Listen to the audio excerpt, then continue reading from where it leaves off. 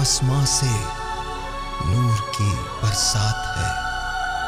नूर रहमान इस रमज़ान ट्रांसमिशन में आप सबको खुश आमदीद कहते हैं और हमारे कराम यहाँ मौजूद हैं। उन्होंने हमें अभी ज्वाइन कर लिया है। सोहबत इल्म में ये वज़न सजी हुई है और यहाँ ज़िक्र हो रहा है हज़रत अली रज़ी अल्लाह की शहादत का दिन है। आज और नाजरीन आपको मिलवाती चलूँ जी अलामा हुसैन मसूदी साहब हमारे साथ मौजूद हैं मुफ्ती नूर रहमानी साहब हमारे साथ मौजूद हैं मुफ्ती इमरान किलियानवी साहब मौजूद हैं असद साहब मौजूद हैं माशाल्लाह और हमारे कामरान सोरवर्दी भाई भी हमारे साथ मौजूद हैं। जी जनाब वक्त को ज़्यादा ना लेते हुए मैं कोशिश करूँगी कि जल्दी जल्दी क्योंकि अब ये सेगमेंट क्योंकि ब्रेक्स भी चल रही होती हैं साथ साथ फ़ारूक आज़म रज़ी अल्लाह ताला ने फरमाया कि हज़रत अली रज़ी अल्लाह को तीन खूबियाँ ऐसी नसीब हुई, अगर मुझे इनमें एक भी मिल जाती तो मेरे लिए दुनिया माफिया से बेहतर होती। नबी सल्लल्लाहु अलैहि वसल्लम ने अपनी लफ्त जिगर सैदा फ़ातिमा रज़ी अल्लाह तह का उनसे निकाह फरमाया। नबी करीम सल्लल्लाहु अलैहि वसल्लम ने उन्हें मस्जिद में सुकूनत अता की, खैबर में अलम का झंडा उन्हें अता किया। सैदा आयशा रज़ी अल्लाह ने फरमाया हज़रत अली रज़ी अल्लाह से ज़्यादा इल्म सुन्नत का जानने वाला कोई ना था।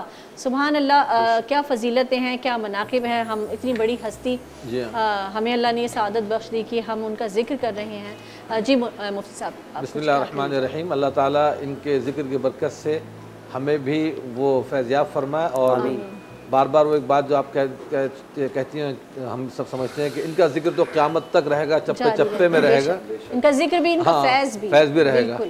हम जैसों का ज़िक्र बस वो कभी हुआ तो हुआ और ना मिट जाएगा लेकिन अल्लाह पाक ने जो मकाम अता फरमाया मस्जिद नबवी में नाम लिखे हुए इन हस्तियों के और नाम लिखने के साथ साथ जो कारनामे हैं खुलफा राशिदीन में जो इनका मकाम है माशा हज़रत मुर्तज़ा रज़ी का जब ये खिलाफत की बागडोर हज़रत ने संभाली थी तो इतना इस्तगना और इतना इनके अंदर एक वो था कि माल को बैतुल माल में भी जमा करने को पसंद नहीं फरमाते थे हज़रत। तो ये इनके बारे में आता है माल गनीमत जब आ जाता था तो माल गनीमत रात के किसी पहर में भी अगर आ जाता फ़ौर दरबार लगा के तशरीफ़ फरमा हो जाते थे और ऐलान आम हो जाता था मदीना तयबा में कि भाई ज़रूरतमंद आ जाएँ और अपनी ज़रूरतों के मुताबिक वो लेते जाएँ। फिर कोफा हज़रत फरमा के तशरीफ़ ले गए थे वहाँ पर भारत तो और इल्म में हिसाब इल्म रियाजी में अल्लाह ताला ने को ख़ास मलका था फरमाया था कि सेकंडों के अंदर बड़े बड़े डिफ़िकल्ट सवाल वो हल फरमा दिया करते थे। और इनके बारे में जो करामत बड़ी मशहूर है और अक्सर उसकी तायद भी फरमाते हैं और मुतव भी है हम्म। कि हज़रत अली करम वज़ू जब रिकाब के ऊपर पाँव रखा करते थे दूसरे तरफ़ पाँव पहुँचने से पहले एक कुरान करीम की तकमील फरमा फरमा लिया करते थे। अभी इनका मुआजा था हज़रत का करामत थी। हमारे हज़रत वालिद साहब इसकी तो मिसाल दिया करते थे। लोग कहते थे कि कैसे पॉसिबल है? तो हज़रत वालिद साहब कहते थे जिस तरह घड़ी की सुइयाँ होती हैं तीन घड़ी की सुइयाँ होती हैं तो एक जो है वो उसके अंदर बारह घंटे में घूमती है एक वो एक घंटे में घूमती है और एक एक मिनट में घूम जाती है। तो हर एक उसी घड़ी में चली है तो इसी तरह हज़रत को अल्लाह ने जो सलाहियत अदा फरमाई थी तो वो लम्हे भर के अंदर कुरान करीम तकमील फरमा लिया करते थे। जी बिल्कुल। और हज़रत अली को ये सादत भी नसीब हुई कि रसूल सल्लल्लाहु अलैहि वसल्लम के गसल के हवाले से वो भी है और अशर मुबशरा में उनका नाम है सबकून अव्वलून में उनका नाम है बद्र के बदरी सहाबा में उनका नाम है। इतनी बड़ी बड़ी फजीलतें हैं हम बयान करते जाएँ हमारी ज़बानें थक जाएँगी पर उनका ज़िक्र मुकम्मल नहीं होगा। जी मुफ्ती साहब। तमाम तारीफ़ें अल्लाह सुबहान व के लिए और दुरुदसलाम अल्लाह के रसूल हम सब के आका हम सब के मौला ताजदार मदीना हुजूर मोहम्मद मुस्तफ़ा अलैहि वसल्लम और अल्लाह सुबहाना व ताला की रहमतें बरकतें अज़मतें रफ़ो रफ़तें नाजिल उन पर जो जौज बतूल हैं। रहमतें नाजिल हों उन पर कि जो पहली गजबा से लेकर आखिरी गजबा तक नबी सलाम के साथ रहे। जो गजब बदर के मैदान शह सवार हैं सत्तर वासिल जहन्नुम होते हैं काफिर। और अकेला अली है जो पैंतीस को मार देता है। और खैबर का वो दरवाज़ा जो चालीस साठ लोग खोला करते थे अली एक हाथ से उखाड़ देता है। आज मैं नबी पाक सल्लल्लाहु अलैहि वसल्लम से फ़जाइल अली सुनूँगा। कैसे मैं हदीस रसूल जाम तरमेज़ी में नबी पाक सल्लल्लाहु अलैहि वसल्लम की वो हदीस बयान करूँगा जो अल्लाह के नबी ने कभी सहाबा के दरमियान बयान की। अल्लाह। के नबी सल्लल्लाहु अलैहि वसल्लम एक एक हदीस बयान फरमाते हैं। जी।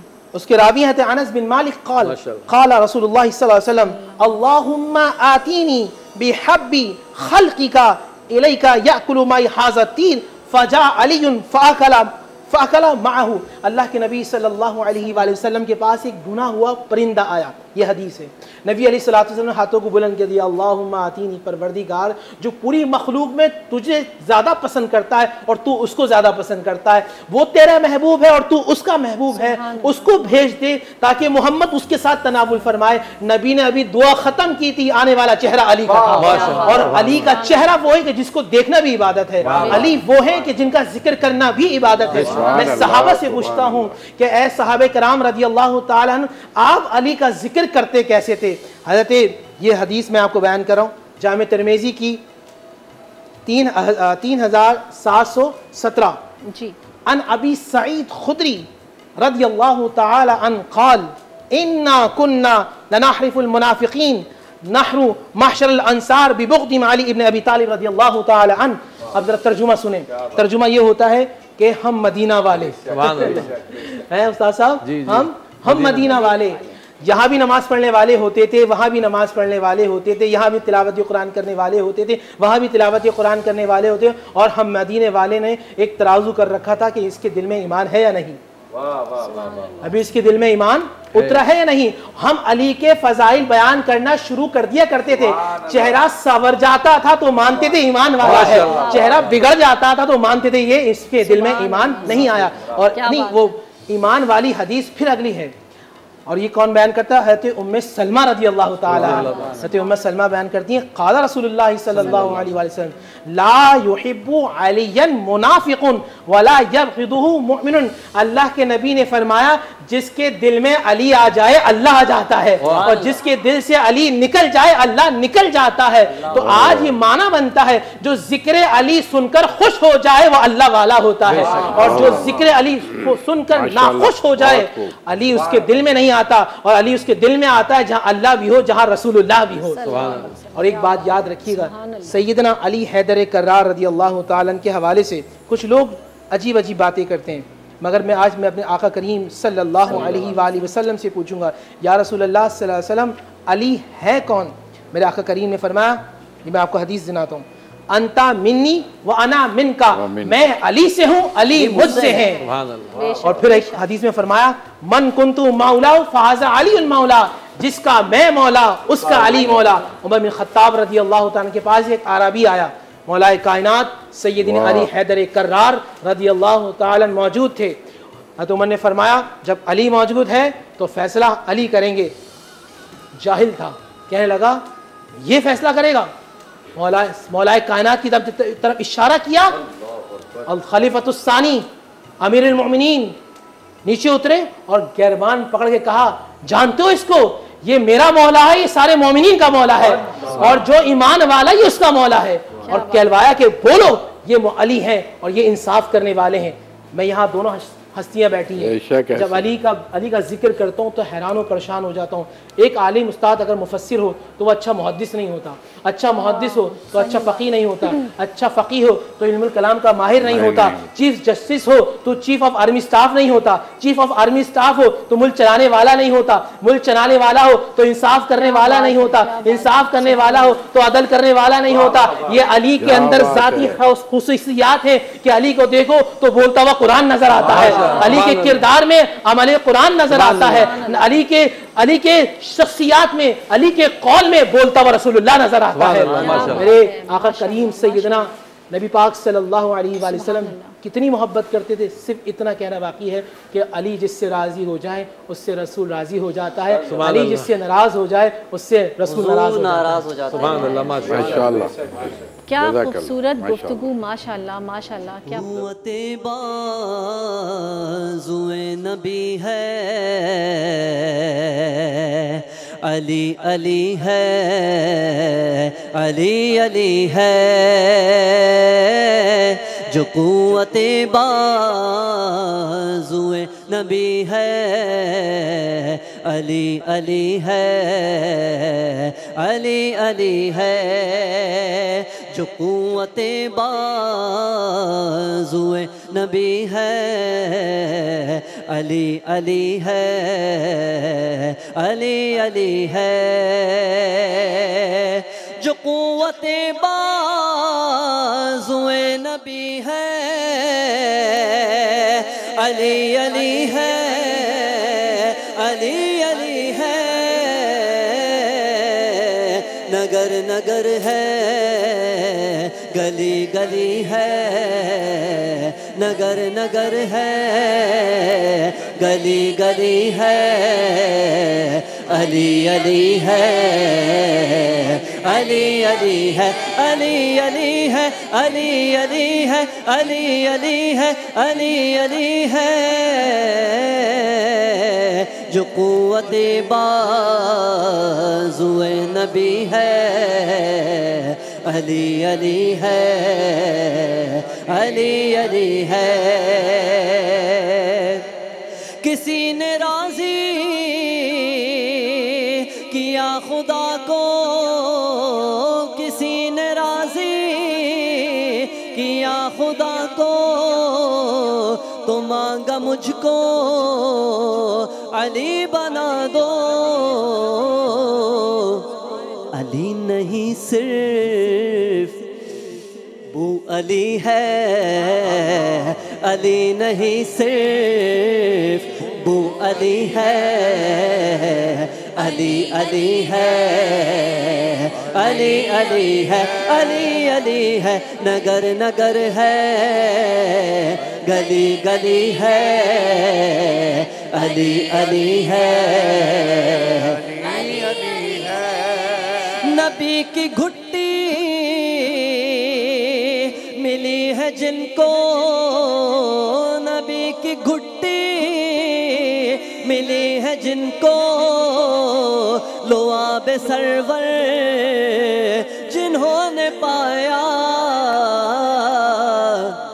अली को गोदे नबी मिली है, अली को गोदे नबी मिली है, अली अली है, अली अली है, अली अली है, नबी को गोदे, अली को गोदे, नबी मिली है, अली अली है, अली अली है। अली के हमको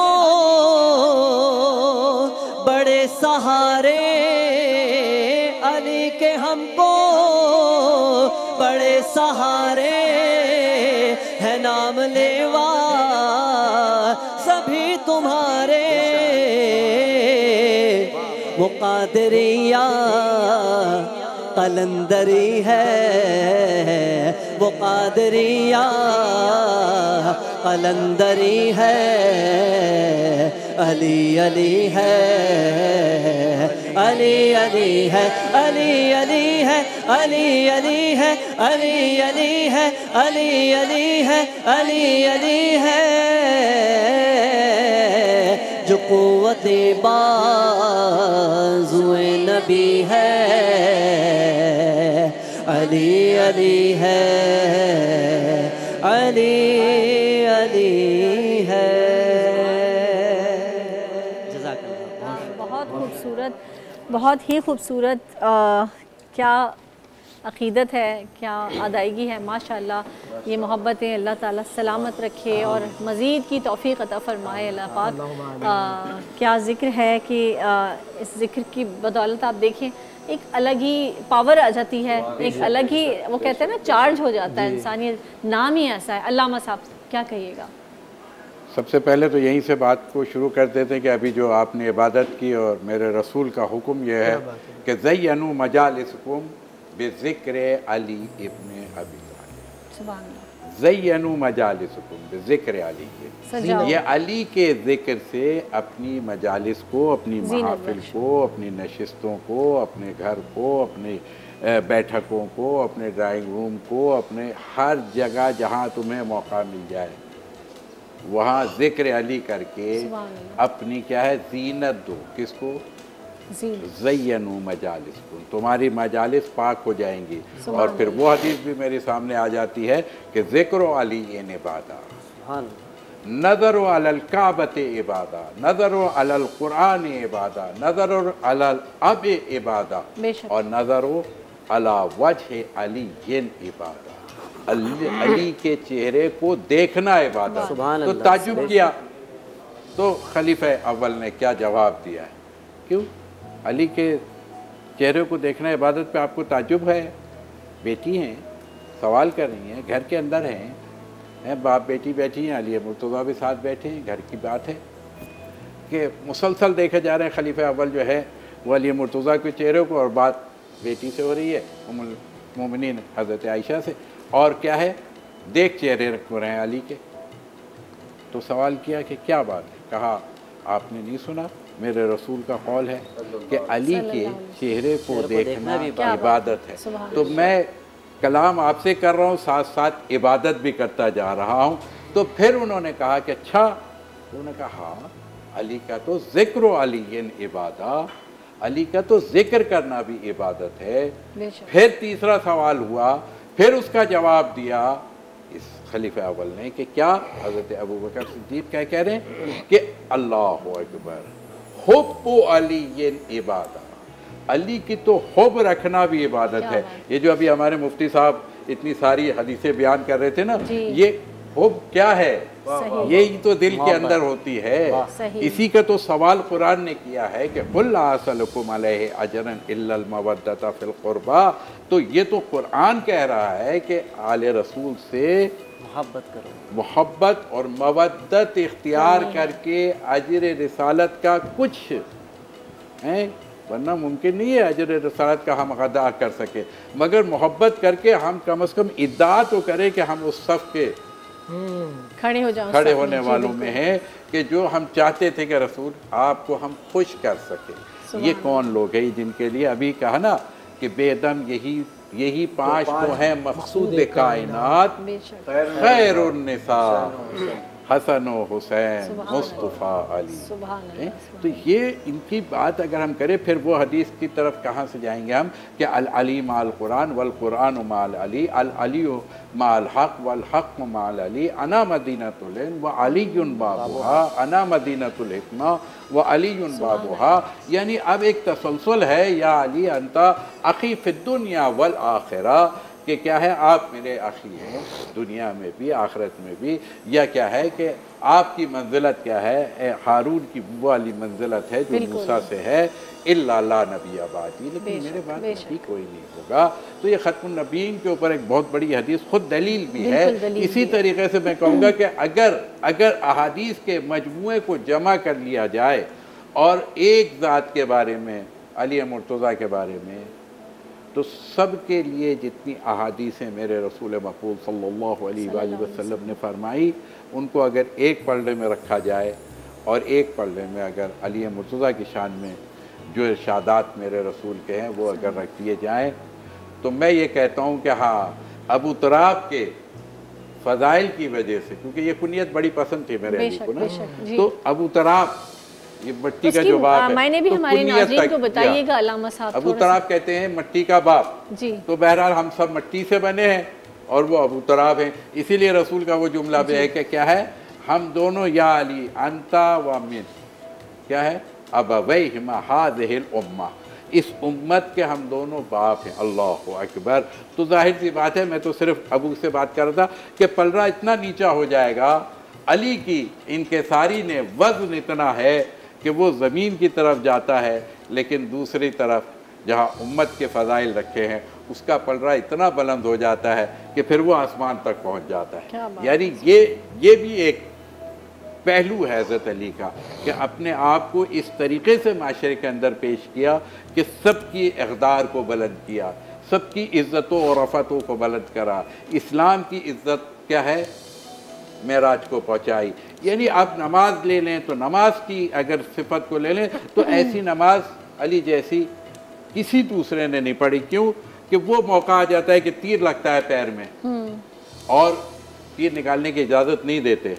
तो मेरा मौला मेरा रसूल एक जुमला कहता है बस असाब से कह कहने यार रसूल खून बह रहा है। अली तीर निकालने नहीं देते। क्या सब्र करो अभी अजान होने वाली जोहर का वक्त होने वाला क्या इससे क्या ताल्लुक? क्या सब्र करो अभी नमाज़ पढ़ेगी जब वो नमाज़ पढ़े तीर निकाल ले। अल्लाह अकबर। ये मेरा रसूल जानता है अली की नमाज़ कैसी हो। अल्लाह तो मैं तो कहूँगा कि हाँ एनेस्थीसिया दिया जाता है ना।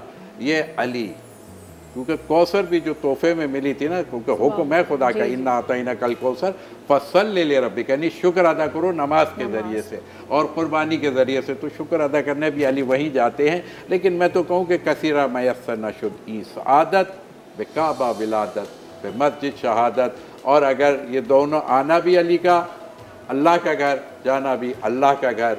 दरमियान की ज़िंदगी या अली आपकी कहाँ है? मैंने कहा रसूल अल्लाह का घर। सल्लल्लाहु इससे बाहर नहीं मिलेंगे। क्या खूबसूरत गुफ्तु अल्लामा साहब आपने की है। मुफ्ती साहब इतने फ़जाइल हम बयान कर रहे हैं कि ये कितनी बड़ी सदत है कि बिस्तर रसूल सल्लल्लाहु अलैहि वसल्लम पर अगर वो किसी को सुलाते सुलाते हैं और कहते हैं जो वो जगह देते हैं कि लोग एज्यूम करें कि वहाँ कौन है। जी हाँ। ये कितनी बड़ी सादत है कितनी बड़ी बात है और कितना बड़ा ट्रस्ट है। यहाँ जब वो हिजरत फरमा रहे थे आप तो हज़रत सैदना सिद्दीक़ अकबर रज़ी तु के साथ रफ़ीक सफ़र हुए और पीछे हज़रत सैदना अली मुर्तज़ा रज़ी तु को अपने बिस्तर पर सुला दिया जी। कि भाई जब सबकी अमानत लौटा दो फिर आप भी आ जाना। वाह वाह तो हज़रत सैदना अली मुर्तज़ा रज़ी तु फरमाते कि मुझे उस रात यकीन था कि मुझे आज जो है ना वो मौत भी नहीं आएगी क्योंकि रसूल करीम सल्लल्लाहु अलैहि वसल्लम ने मुझे अपनी जगह पे कह दिया कि हाँ, तुम खलीफा बना के रखा है। और फिर बाद में ये रिवायत में आता है पैदल हिजरत फरमाते हुए मदीना तय्यबा तशरीफ़ लाए। पाँव में छाले पड़ गए थे। जी। फिर इसी तरह आशुब चशम को इमाम रजा फतेह खैबर के मौके पर जब आपने बशारत दी थी कि एक शख्स फतह करेगा उसके हाथ पे किला फतह होगा तो जब आप तशरीफ़ लाए तो आँखों में तकलीफ़ थी आपके तो आपने अपना लुआब दहन आपके आँखों में जो डाला तो माशाल्लाह बिल्कुल शिफायाब हो गए। अल्हम्दुलिल्लाह और फिर खैबर का जो दरवाज़ा था जो अभी हमने ज़िक्र भी किया कि चालीस पहलवान खोलते थे तगड़े ताकत वाले वो एक हाथ से खुद उखाड़ दिया उसको जड़ से। तो शेर खुदा असदुल्लाह लेकिन साथ में सब चीज़ें हमें ध्यान में रखनी चाहिए कि जो दर्जा बशरियत इंसानियत विलायत उन्होंने सारे मुजाहदे उन्होंने उनके अहल बैत ने पूरे बर्दाश्त ही उठाए हैं। उस ताकत की वजह से ऐसा नहीं हुआ कि। मुशक्क़त ने उठाए सारी मुशक्क़तें बर्दाश्त की। आखिर में मुशक्क़त शहादत की कि जिस तरह उनके ज़रब लगी और खून आलूद उनके वो जो खिजाब यानी खून से खिजाब उनकी दाढ़ी का हुआ तो ये तकलीफ़ें उन्होंने रात दिन की उठाई हैं बर्दाश्त की हैं तब इस मकाम आली पर पहुँचे हैं माशा अच्छा इसके अंदर ये हजूर पाक के दामाद भी हैं और चारों खुलफा में मैं देखता हूँ अजीब अल्लाह ताला ने तरतीब रखी है कि पहले दो खुलफा जो हज़रत सैदना सिद्दीक़ अकबर हज़रत सैदना उमर फारूक रज़ी तो ये दोनों हजूर के सुसर हैं और रसूल पाक सल्लल्लाहु अलैहि वसल्लम इनके दामाद हैं। फिर आखिर के जो दो खुलफा हज़रत सैदना उस्मान गनी रज़ी हज़रत अली माशाअल्लाह। ये जो है रसूल पाक सल्लल्लाहु अलैहि वसल्लम के दामाद हैं।